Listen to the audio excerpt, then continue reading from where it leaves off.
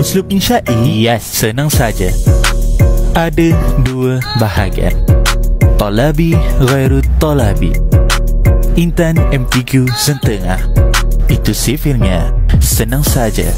Istibham nida tamani Amrun nahyun madah taraji Qasmun zamun ta'ajum Itulah dia Usub insya'i Senang saja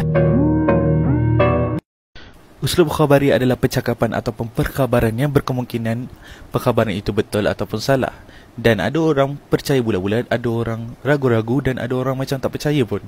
Dan uslub khabari juga melibatkan penambahan adawatu taukid sebagai penegasan untuk menampakkan perkhabaran tersebut adalah betul.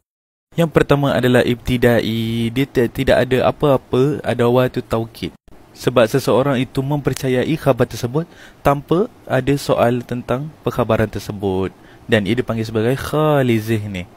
Contoh ayat Zahaba Muhammad ilal madrasah. Yang kedua adalah talabi. Yang kedua ni memerlukan satu saja adawatu taukid dan pendengar dia mempunyai rasa ragu-ragu untuk mempercayai. Jadi kita tambah satu jadi qad zahaba Muhammad ilal madrasah ataupun inna din indallahil Islam.